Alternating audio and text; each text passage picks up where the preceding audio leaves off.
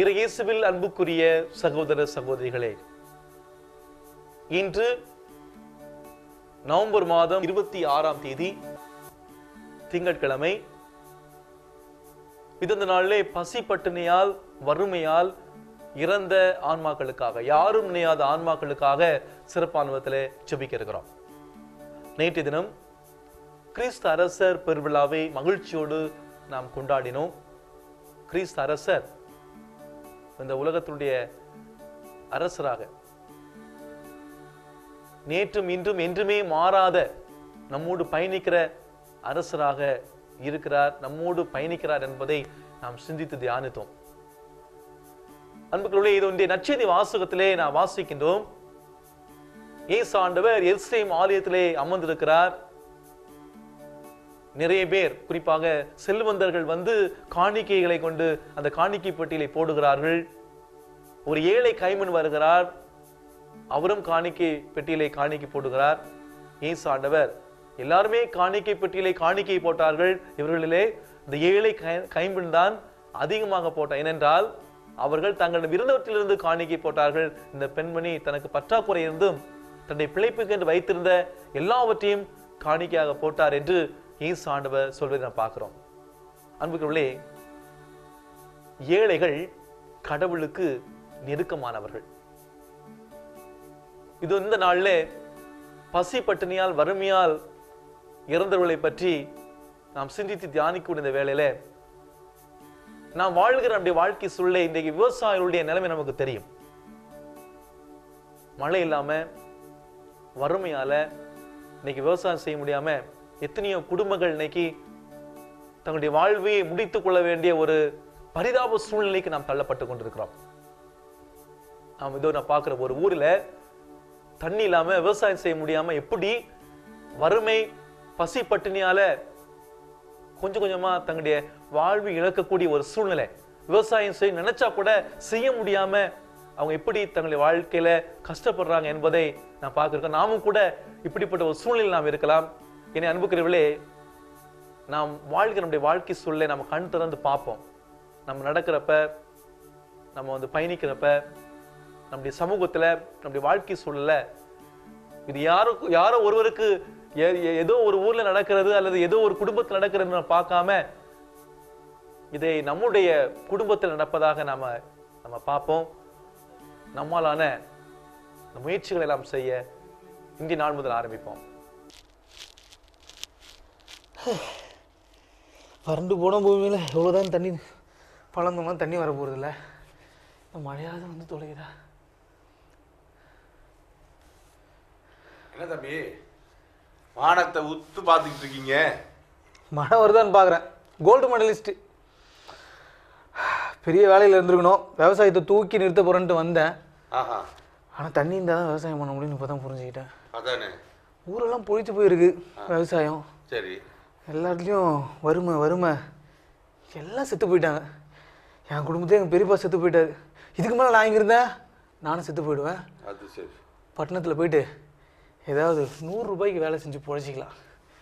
இனிமேல் இந்த விவசாயம் எதுவும் வேணாம்ப்பா சரி அட தம்பி என்னய்யா அந்த ஊர்ல ஏகப்பட்ட பேர் செத்து போட்டான். சோறு தண்ணி இல்லாம வானம் போயிட்டு போச்சு. நான் என்ன சொல்றேன்னா ம். இவ்வளோ பெற்று மண் வீட்டில் நட்டு கொட்டாத. ஆ ஒழுங்கா கடவுள் கிட்ட முட்டி போட்டு இந்த செத்து போனானுங்களே.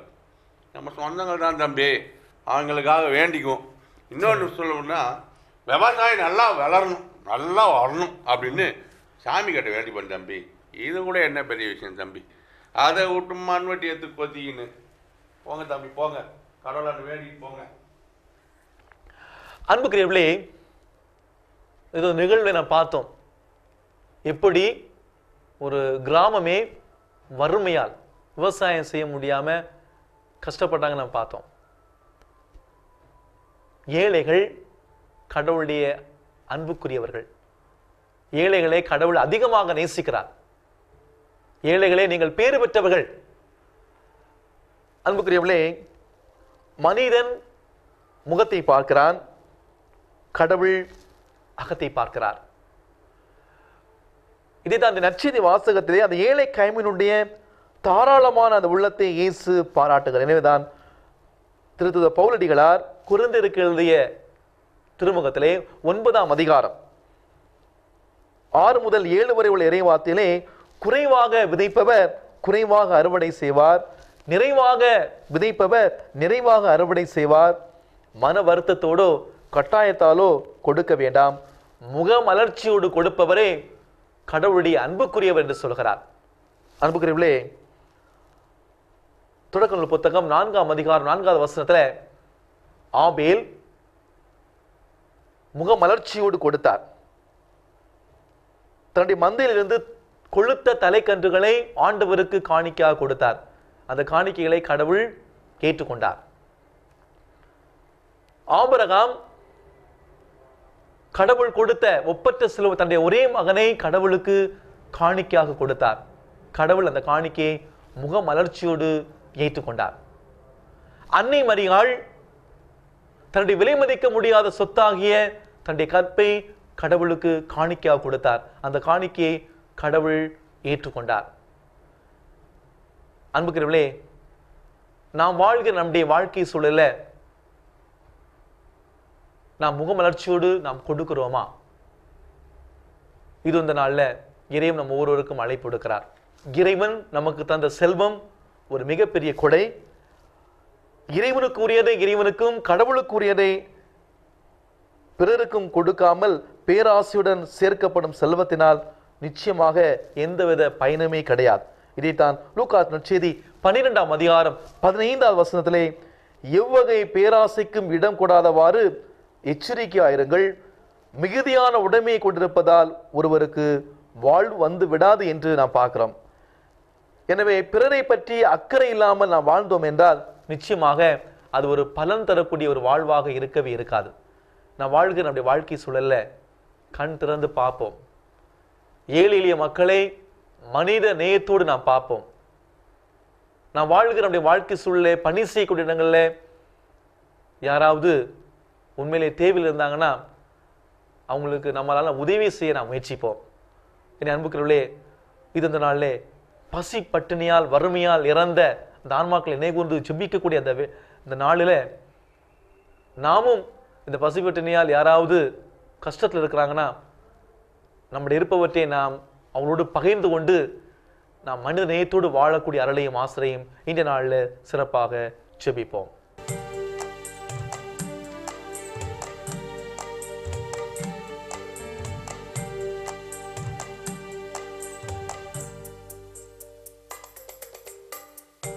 மனமிரங்கும் மனமிரங்கும் இயேசு தெய்வமே மனமிரங்கும் மனமிரங்கும் மனமிரங்கும் இயேசு தெய்வமே மனமிரங்கும் மறித்தவர்க்கு ஆத்ம சாந்தி அருளும். மறித்தவர்க்கு ஆன்ம சாந்தி அருளும். மனமிரங்கும் தெய்வமே.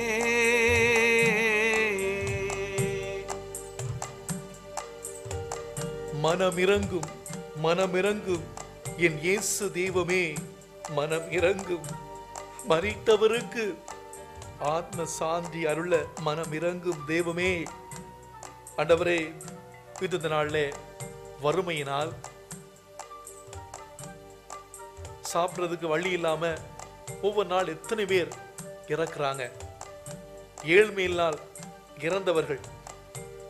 யாரும் நினையாத ஆத்மாக்களை நினைவோது நாங்கள் நேரத்தில் செபிக்கிறோம் சீராக் புத்தகம் முப்பத்தி எட்டு பதினாறு பதினேழு இருபத்தி மூன்று வசனங்களில் குழந்தாய் இறந்தவர்களுக்காக கண்ணீர் சிந்து பெரும் துன்பங்களில் உழல்வோர் போல புலம்ப தொடங்கு இறந்தவருடைய உடலை தகுந்த முறையில மூடிவை அவளுடைய அடக்கத்திற்கு செல்ல தவறாதே மனவிரும்பி அழு உணர்வு பொங்க புலம்பு இழிவு பேச்சை தவிர்க்கும் பொருட்டு இறந்தவருடைய தகுதிக்கேற்ப ஒரு நாளோ இரு நாளோ துயரம் கொண்டாடு பின்பு துன்பத்தில் ஆறுதல் பெறு. இறந்தோரின் அடக்கத்தோடு அவருடைய நினைவும் அடக்கம் பெறும். அவருடைய ஆவி பிரிந்தபின் அவர்களுக்காக ஆறுதல் பெறும் ஆண்டவரே அவர் இறந்த பிறகு ஏதோ அவருடைய ஆவிக்காக இதோ ஆறுதல் பெறுகிற இந்த வேலையில ஆண்டவரே அவர்களுக்கு நித்திய இலைப்பாற்றி கொடுங்க ஆண்டவரே. நித்திய பேர்பத்தை கொடுங்க ஆண்டவரே. இந்த ஜெபிங்க. எரிகின்ற தீயில் புழு போல் வாடும். பரிகாரம் செய்யும் நேரமே இங்கு பரிகாரம் செய்யும் நேரமே புலம்பும் அவரை விண்ணில் சேர்க்க அருள்தனை புரிய வாருமே இறைவா வாருமே. தெய்வமே என்று வாஞ்சியோடு செபிக்கலாமா? ஏறுகின்ற தீயின் புழு போல் வாடும் எரிகின்ற தீயின் புழு போல் வாடும் பரிகாரம் செய்யும் நேரமே